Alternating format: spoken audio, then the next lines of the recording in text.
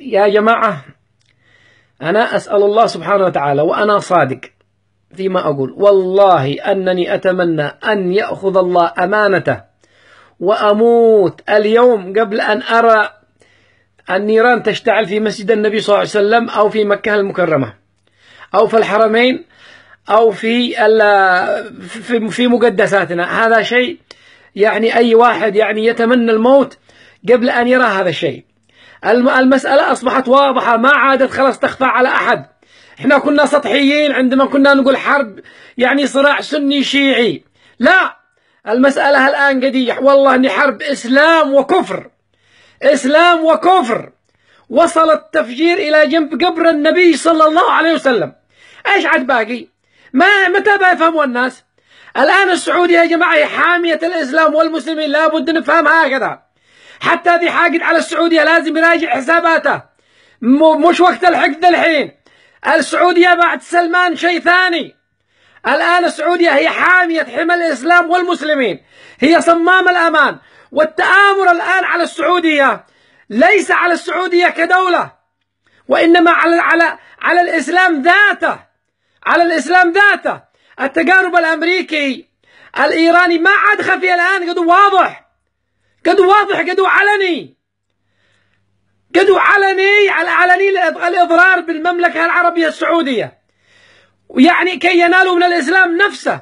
هذا التآمر الذي بتروه وتصوير أهل السنة على أنهم هم الإرهابيين وصناعة داعش وعلى أن أهل السنة كلهم إرهابيين تفجيريين. بينما الشيعة حمائم سلام. ما سمعتوا شيعي يفجر نفسه. هذا ضمن الخطة المدروسة من زمان. الواضعينها الأمريكان بالتحالف مع إيران لتصوير الإسلام الصحيح الذي هو أنا وأنت. السنيين نحن الإسلام الصح. إيران مش مسلمة. ولا هي مسلمة. والله ما هم مسلمين. وأنهم الآن أكثر من يضر الإسلام والمسلمين هم.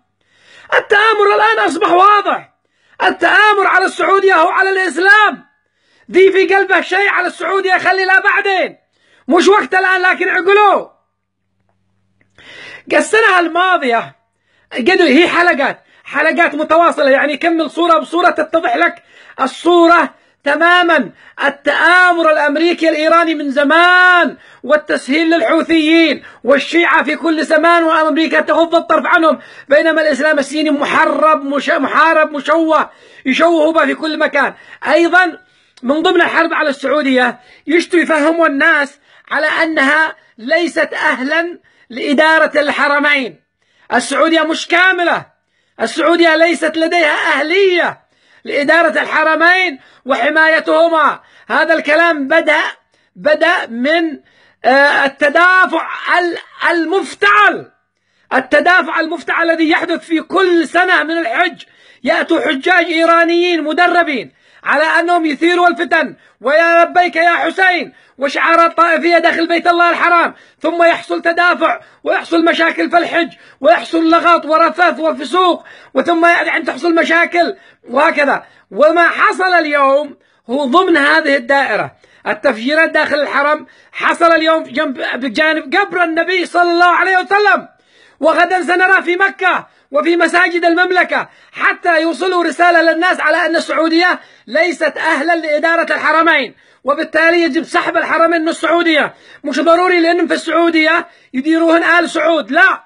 إذا تشكل لجنات من المؤتمر الإسلامي وكذا وكذا ويبدأوا يشككوا كلها خطوات للنيل من السعودية باعتبارها الآن حامية حمى الإسلام. رضي من رضي وأبى من أبى. وأبناء السنة هذا نداء لأبناء السنة ذي عادهم مقفلين. اصحوا اصحوا. اليوم أقولها بكل صراحة والله ما يكره السعودية إلا منافق. إلا منافق أو جاهل أو حاقد. ما يكرهها واحد مؤمن أبدا. ما يكرهها مؤمن هذا الأيام. السعودية حامية حمى الإسلام والمسلمين ويجب أن نقف معها. حبا لديننا وليس حبا للسعودية نفسها. أنا أتمنى أن يفهم الناس. افهموا قد التفجير بجانب قبر النبي صلى الله عليه وسلم. إيش عاد باقي. والله أن الإيرانيين فرحين. والله أن الحوثيين مبسوطين بهذا التفجير. ويتمنوا أن تنهد الكعبة وتنهد المدينة وينبش قبر النبي صلى الله عليه وسلم حتى يأخذوا أبو بكر الراقد بجنب النبي صلى الله عليه وسلم وعمر الذي يلعنوهم ليل ونهار. اصحوا! اصحوا يا أهل السنة اصحوا اصحوا اصحوا